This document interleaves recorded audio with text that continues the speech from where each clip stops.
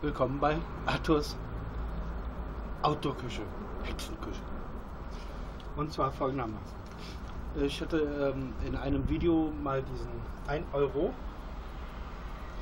äh, Kochtopf oder man bekommt den bei, bei TD steht drauf 1 Euro für eine Edelstahlschüssel 16 cm 1 Euro.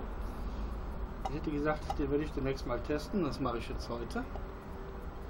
Versuchen wir hier das Etikett abzumachen. Ansonsten muss ich es verbrennen. Ähm, zum zweiten hatte ich in einem anderen Video mal meine, mein Outdoor-Besteck äh, ähm, gezeigt. Und da war mir im Wald vorher von meinem ähm, US-Besteck, also was die amerikanische Armee benutzt, ähm, da waren mir zwei Teile abhanden gekommen. Und zwar die Gabel das Messer. Den Löffel hatte ich noch und jetzt war ich heute mal ganz kurz im Wald und habe sie wieder da gefunden, wo ich sie vermutet habe. Also von daher werde ich dann ein halber damit kochen. Dann des Weiteren weihe ich hier mit meinem Trangia Brenner ein oder vielmehr ist es ja kein Trangia, ist ja von Esbit, falls man das sehen kann. Ähm, eins, zwei, drei. Nummer vier wäre dann dieses Reisgericht, was ich bei Lidl entdeckt habe für 79 Cent. Und ich denke für unterwegs. Das sind ähm, zwei Portionen. Ernährungsnavigation. Das wären circa 500 Portionen, 500 pro Portion 264 Kalorien. Das heißt äh, pro Person. Daraus ergibt sich ja zwei Mahlzeiten pro Person 264 Kalorien für 79 Cent. Geschenkt. Dann wollen wir anfangen und jetzt kommt noch etwas dazu, nämlich diese Brennpaste. Die habe ich bei Globetrotter gekauft, die kenne ich noch nicht.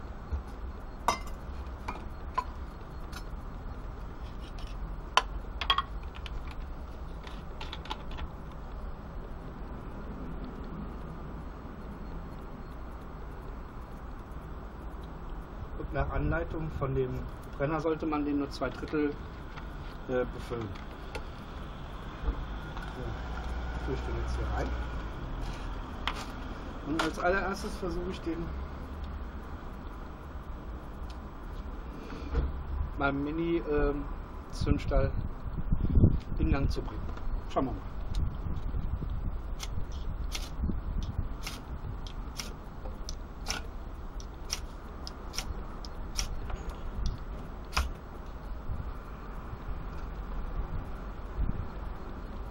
Man kann es aber kaum sehen.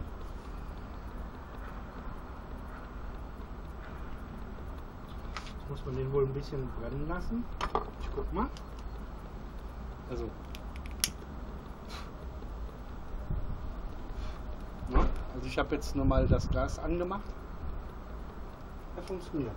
Und man kann es wirklich kaum sehen, dass der brennt. Man spürt die Hitze doch sehr deutlich. So, den schiebe ich mal ein bisschen auf Seite. Jetzt kommt das, wo ich immer wieder sage, das ist so mein Buschkraft, das Küchenmesser. Dann habe ich aus dem Lidl von Dulano die Cabanossis Gold mit Truthahn und Schwein. Da mache ich nicht allzu viel von.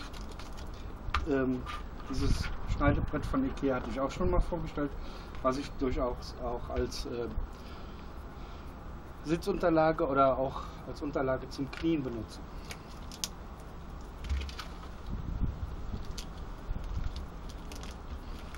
Jetzt hole ich eine Cabanossi raus. Schneide die aber nicht ganz auf oder äh, ganz klein, denn sonst wird der Topf ein bisschen zu klein dafür.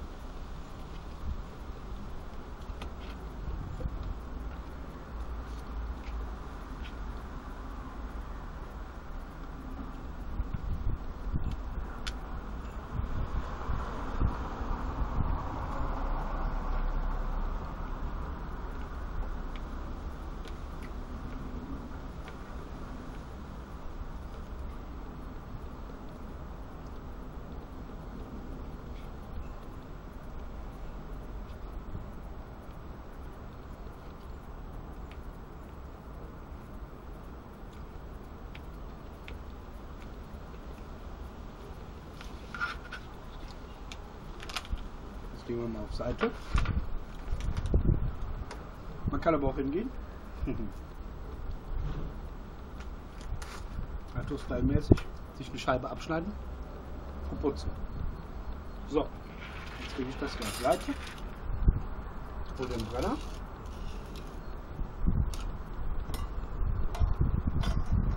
Pack das hier drauf.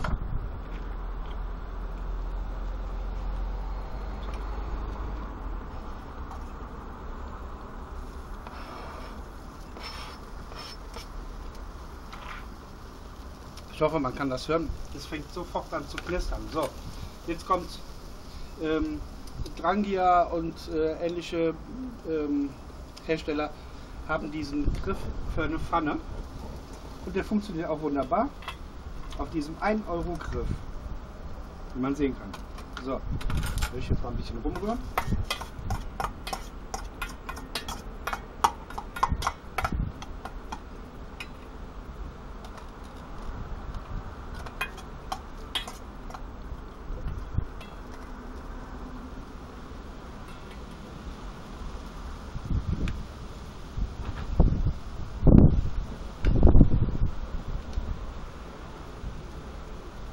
Ist ganz schön windig. Also so im Prinzip, obwohl ich das auf dem Balkon mache, ähm, ganz normale Outdoor-Bedingungen.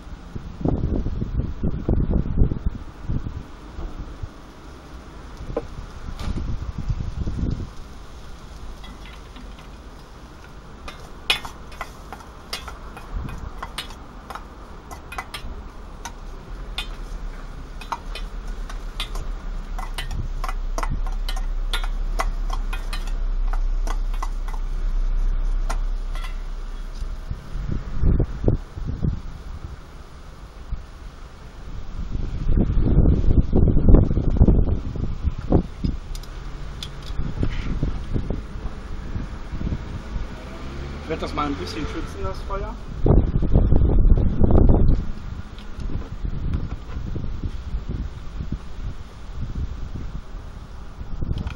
So, und allzu lange werde ich da jetzt nicht warten, bis, also ich will ja nicht anbraten, sondern ein bisschen was von dem Fett rausholen.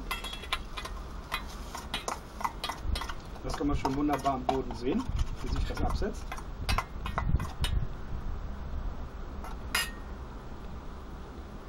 Feuer ist ausgegangen. Unglaublich.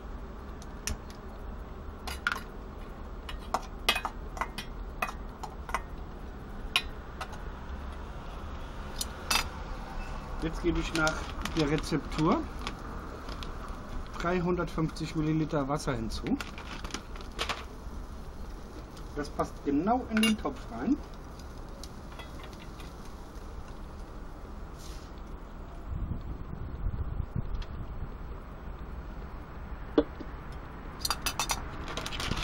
Öffne den Beutel und es steht hier drauf 350 Milliliter kaltes Wasser ähm, hinzugeben und unter Rühren aufkochen. Zwei Minuten leicht kochen lassen, anschließend vom Herd nehmen und drei Minuten zugedeckt ziehen lassen.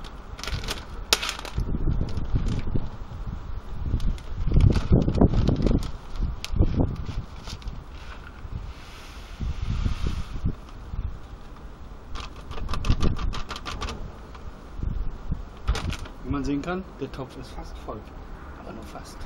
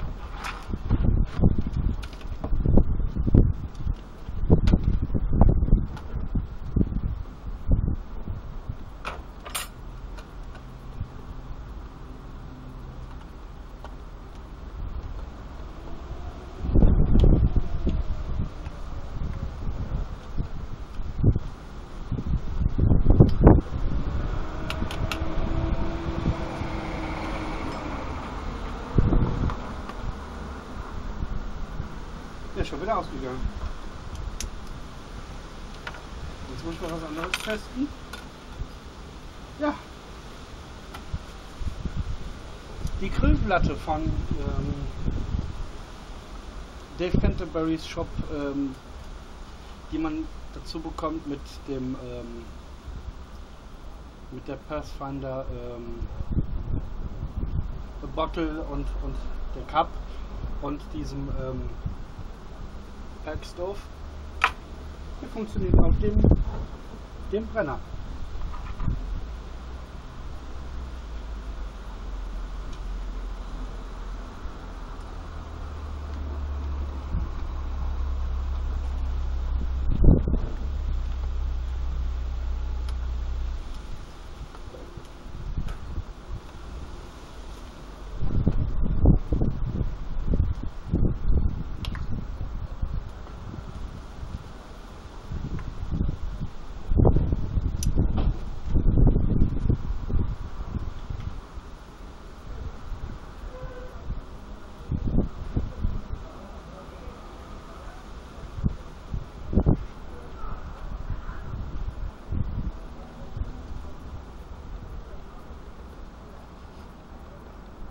Riecht schon nicht schlecht.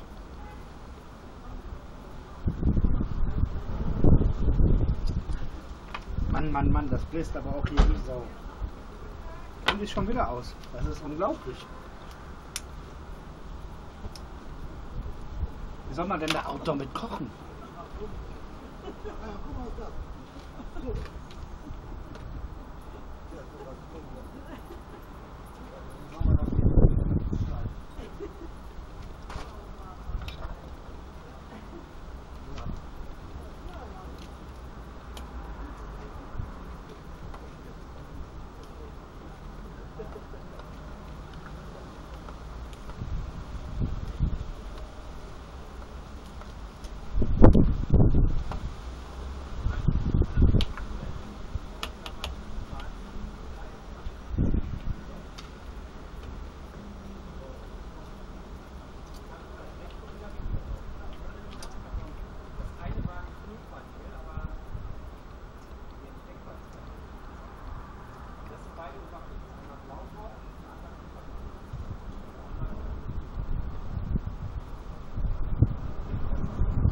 Könnte dafür äh, sein, dass diese Brennpaste scheiße ist. Das weiß ich nicht so genau.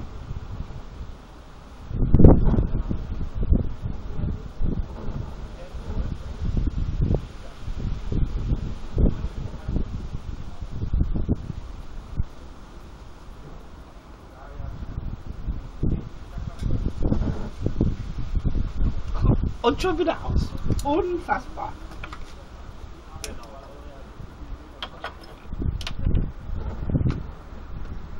Das von so ein bisschen Wind auf dem Balkon. Nicht schlecht. Oder nicht gut, vielmehr.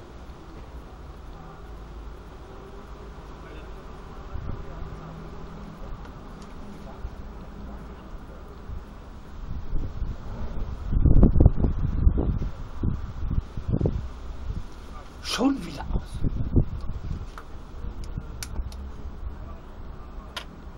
Mal gucken, ob überhaupt noch genug Brennpaste drin ist. Ja, scheint doch.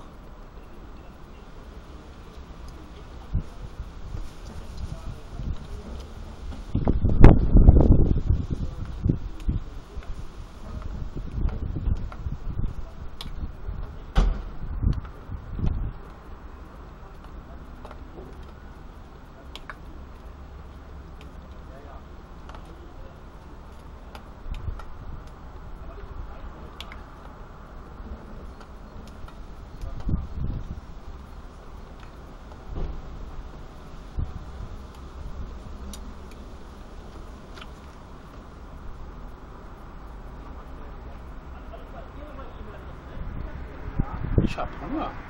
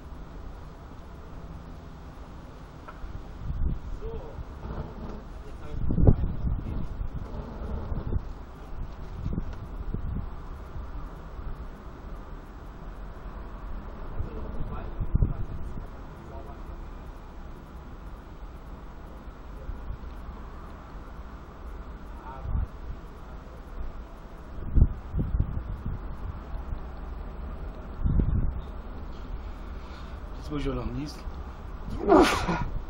Ei.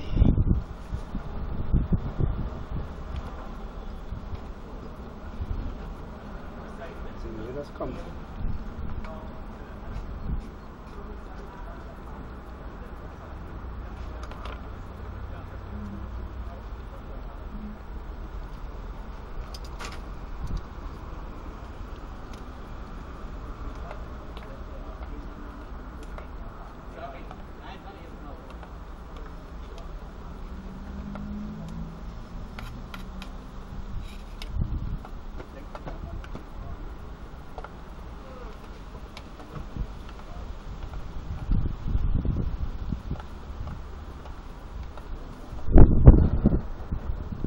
Mann, Mann, Mann, das bläst aber auch hier ganz schön auf dem Balkon. Das bin ich ja sogar nicht gewohnt.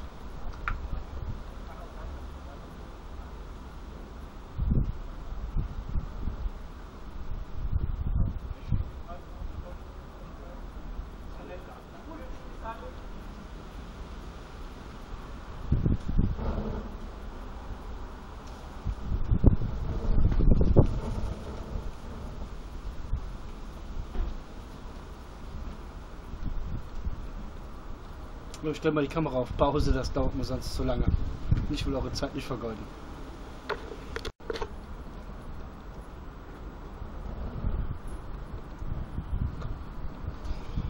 Tja, so langsam wird's was. Es hat jetzt noch weitere fünf Minuten gedauert. So langsam fängt das Wasser ein bisschen an zu sprudeln. Ähm, Das Kochgut erhebt sich ein bisschen. Und ich habe zwischendurch mal getestet. Also an sich schmeckt es nicht schlecht. Aber ich muss dazu sagen, die Cabanossi macht es wirklich runter.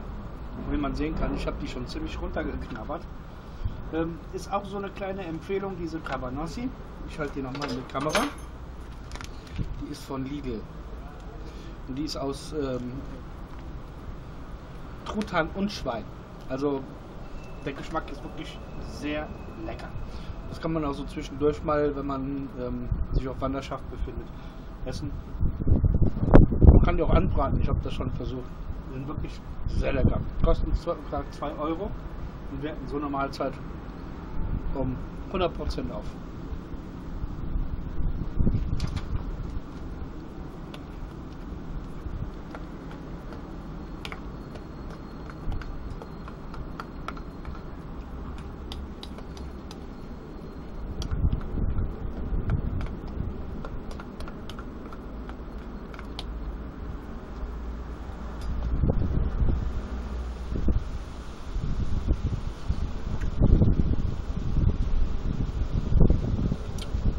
Ja, fast fertig. Fast.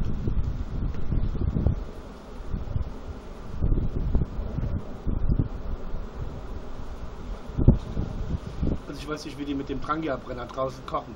Ich weiß es nicht. Oder mit dem von Esbit. Ich bin da nicht so wirklich von überzeugt. Ehrlich gesagt nicht. Ähm, ob man den vielleicht in so eine in so eine ähm, Bushbox stecken könnte. Ich weiß es nicht.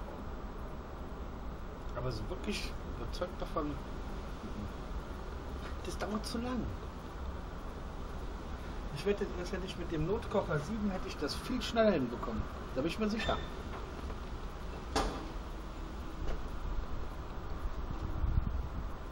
Vielleicht liegt es aber auch an der Brandpaste. Ich kann es nicht sagen. Auf jeden Fall hier dieser von Trangia, dieser, ähm, dieser Griff, der funktioniert hier an, diesem, ähm, an dieser Schüssel, die ich für 1 Euro beim Teddy gekauft habe. Funktioniert tadellos. Da war die Schüssel günstiger als das hier. Das kostet 7 Euro. Das hier, also dieser Griff. Und das hier 1 Euro.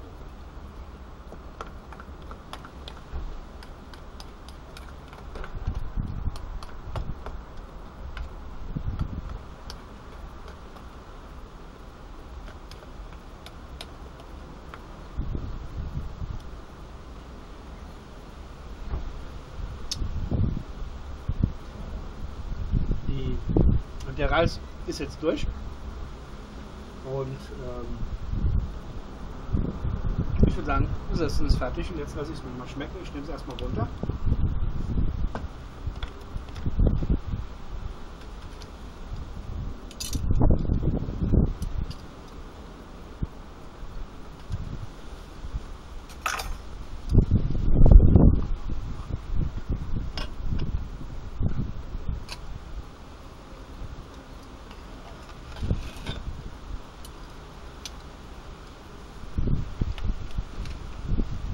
So, also, guten Appetit.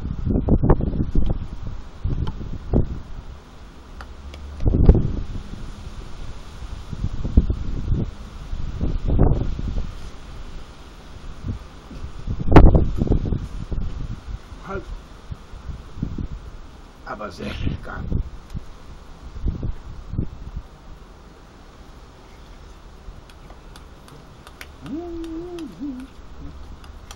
Sehr lecker, sehr lecker.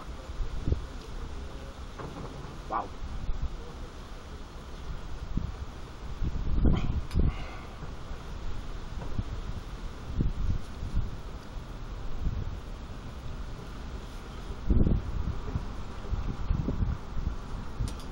Also für 79 Cent. Die Cabanossi könnte man auf, auf äh, glaube ich, fünf Tüten strecken liegen wir bei ca. 1 Euro pro Tüte. 50 Cent pro Mahlzeit pro Person. Perfekt.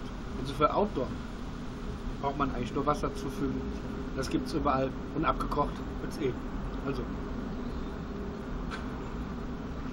Holt's euch, greift zu, lasst es euch schmecken. So wie ich mir jetzt auch. Weil ich habe nämlich erst seit ca. einer Stunde Feierabend. Den werde ich jetzt genießen. Bis dann, bis die Tage. Danke fürs Zuschauen. Bewertungen, Kommentare werden gerne gesehen. Schönen Tag noch. Tschüss. Eis,